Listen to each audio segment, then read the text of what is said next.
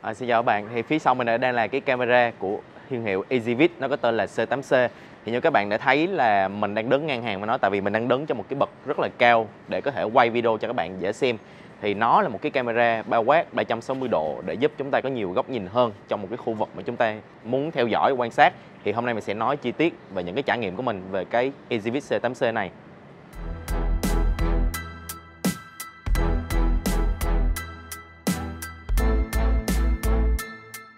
Các bạn sẽ thấy là cái EasyVid C8C này nó khác so với lại những cái camera an ninh ngoài trời. Nó có một cái hình dáng quả cầu như một quả bóng vậy, thì theo mình nhìn nó ngầu như một con mắt thần vậy đó. Thì nó có thể xoay được nhiều hướng khác nhau, xoay lên, xoay xuống, cũng như xoay ngang qua, để mà chúng ta có thể quan sát nhiều hơn, cũng như tránh được cái góc chết. Khi mà mở hộp ra thì chúng ta sẽ lắp vít, rất là đơn giản thôi, nhưng mình đang lắp một cái tường nhìn ra một cái khuôn viên cà phê tinh tế, với bốn con vít khác nhau cùng với lại mình giấu cái dây lên trên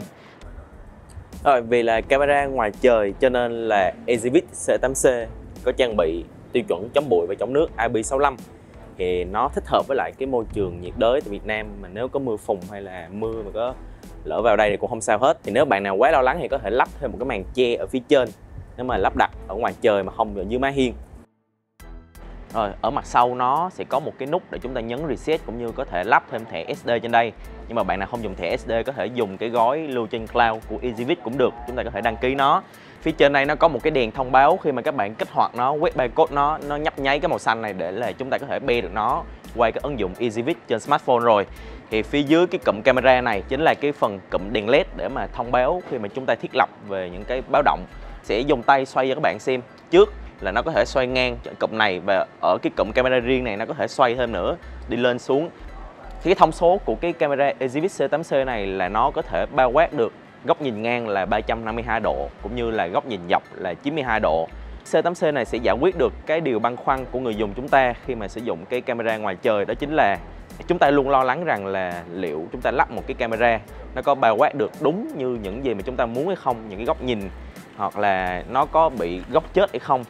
nếu mà một cái camera nó không đủ góc nhìn á, thì nếu mà trường hợp kém may mắn, những kẻ xấu, họ sẽ lợi dụng những cái điểm góc chết đó để mà họ có thể ờ, xâm nhập vào cũng như là đánh cắp tài sản gì đó. Chính vì thế, khả năng quan sát 360 độ của Easyvis C8C này nó sẽ giải quyết được băn khoăn lo lắng nó. Chúng ta có thể lắp trong những cái không gian nhà cửa cũng như là cửa hàng mà chúng ta vẫn không phải suy nghĩ nhiều về nó có thể quan sát được tới đâu hay nó có bị mất góc nhìn hay không. Thì đó là tác dụng chính của cái C8C này.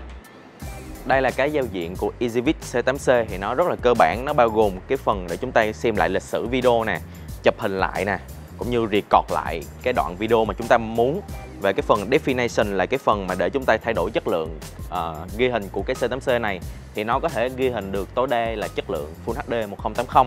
và cái điểm đặc biệt trên cái C8C này đó chính là nó có một cái phần để mà chúng ta điều chỉnh pan and tip nè. Thì khi các bạn bấm vào đây á, thì uh, chúng ta sẽ điều chỉnh được cái góc xoay của camera cho nó xoay sang trái, xoay sang phải và nó phản hồi ngay tức khắc ngay trên mình đang điều khiển trên cái smartphone của mình đây tiếp theo là cái Active Defense. Thì cái này khi mà chúng ta nhấp vào thì nó sẽ báo cái đèn led đó để mà có thể cảnh báo được cho cái đối tượng không mong muốn trong cái khung hình mà chúng ta đang thấy. Theo là cái privacy mode thì cái này khi mà chúng ta không cần phải dùng camera nữa thì nó sẽ đóng bằng chập lại để mà có thể đảm bảo được cái sự yên tâm về cái bảo mật trong ghi hình hình ảnh của chúng ta. Rồi thì về cái khả năng nhìn đêm của cái EasyVid C8C này nó cũng có nhiều tính năng à, khi mà chúng ta vào cái phần cài đặt của cái ứng dụng EasyVid á, thì các bạn sẽ kéo xuống có một cái phần là Night Vision Mode. Thì nó sẽ có ba chế độ. Thứ nhất là chế độ nhìn màu bình thường. Đó cái chế độ tiếp theo là nhìn trắng đen. Và cái chế độ thứ ba là chế độ thông minh. Thì như thông thường là nó sẽ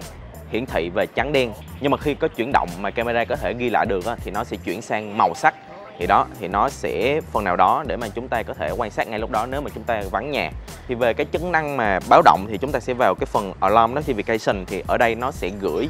cho chúng ta những cái thông báo. Khi mà chúng ta vắng nhà, nó sẽ gửi 24 trên 7 luôn. Và camera có thể xác định được chuyển động của người hoặc là chuyển động về hình ảnh. Rồi thì như mình mới tích lên thì ờ, nó để phát hiện ngay cái human detection. Thì nó gửi thông báo về điện thoại của mình và nó ghi lại cái hình ảnh của người đó ngay trên cái phần thông báo luôn. Cũng khá là tiện lợi để mà chúng ta có vắng nhà hoặc là vắng cửa hàng lâu ngày mà chúng ta sử dụng nó thì uh, chúng ta không muốn trong không gian chúng ta có người thì nó sẽ gửi ngay tức khắc cũng như là chúng ta sẽ có những hướng giải quyết khác. Thì mình đã tích lên cái detection marking cái phần này nó sẽ tạo một cái khung. Và khi xác định được người ở trong cái khung hình đó thì nó sẽ có một cái khung trước cái người đó thì nó sẽ phục vụ phần nào đó về cái khả năng nhìn đêm. Khi mà các bạn khó mà thấy người đó nhưng mà trên camera trên ứng dụng này nó sẽ highlight lên bởi cái khung hình chữ nhật đó thì để dễ cho chúng ta nhận biết hơn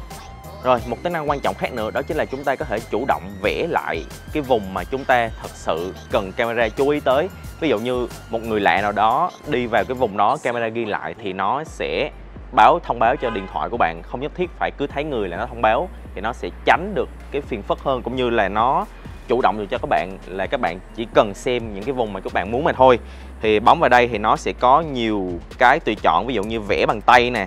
hoặc là chạm gì đó thì uh, chúng ta cứ chạm lên phần màn hình thôi, hoặc là quét cho nó nhanh như thế này đây. Thì nó sẽ, ngay lập tức nó sẽ lưu lại và nó sẽ chỉ để ý ngay cái vùng mà chúng ta đã vẽ đó. Và chúng ta bấm save là xong. Rồi, một cái cuối cùng đó chính là chúng ta có thể thiết lập được cái độ nhạy detection mình nghĩ là không nên tăng cái độ nhạy quá cao. Ví dụ như có những thứ mà chúng ta không cần thiết phải biết đến hay là gửi thông báo đến điện thoại mà nó cứ báo hoài thì nó cũng sẽ gây phiền phức với nhiều người. Cho nên là về cái tính năng này các bạn nên để nó ở mức mặc định mà thôi. Quay trở lại chuyện ghi hình quan sát vào ban đêm thì cái Exhibit C8C này nó làm mình khá hài lòng khi mà ở cái chế độ màu sắc á, nó có thể tái tạo được những cái màu về buổi đêm. Nó vẫn nhìn rõ được màu áo của người nào đó cũng như là nó sẽ cũng như là nó không có chênh lệch về cái vùng sáng có đèn hay là vùng tối quái tối. Nó nó vẫn cho chúng ta được một cái nhìn tự nhiên cũng như là cái chế độ trắng đen thì không phải nói rồi chúng ta vẫn có thể quan sát bình thường. Những ai quan tâm về cái chế độ nhìn màu vào ban đêm thì cái camera C8C này để phục vụ rất là tốt. À, thêm một cái tính năng khác nữa mà mình khá là thích đó chính là chúng ta có thể chụp được hình 360 độ trên cái C8C này. Khi mà chúng ta kích hoạt á, thì camera nó sẽ tự xoay một vòng 360 độ để mà nó lấy hết toàn cảnh rồi thì các bạn hình dung nó giống như là chụp ảnh pano vậy. Khi mà chụp xong thì nó, tất nhiên nó sẽ quay lại cái vị trí ban đầu của nó, mà theo mình thấy là nó không bị lệch so với lại khi mà trước khi chụp, cũng như là chúng ta không nhất thiết phải chỉnh lại bằng tay nữa hay là phải thiết lập lại từ đầu nữa. Khá là tiện. Tóm lại, cái Easyvis C8C này nó lấy được những cái góc nhìn rộng như vậy để mà chúng ta có thể sử dụng nó đặt trong những cái hộ gia đình mà có sân vườn quá rộng, hoặc là những cửa hàng có bãi giữ xe riêng hay là sân trước để mà chúng ta muốn lấy bao quát thì cái C8C này sẽ là giải pháp cũng như là mình rất là thích những cái tính năng thông minh của nó về xác định được chuyển động hay là thiết lập vùng an toàn hoặc là những cái chụp ảnh 360 hay là khả năng nhìn đêm của nó rất là tốt khi mà có thể tái tạo được màu nó tốt cũng như vùng trên sáng giữa vùng sáng vùng tối nó xử lý rất là tốt để mà chúng ta có thể tiện theo dõi cả ngày và đêm. À, cũng như nó có một cái hình dáng đẹp hiện đại ứng dụng thì dễ thao tác thì mình nghĩ C8C sẽ là một lựa chọn rất là đáng chú ý nếu những ai đang có những băn khoăn, lo lắng, muốn lắp camera ngoài trời như mình đã nói ở phần video này. Xin cảm ơn các bạn đã theo dõi nhé.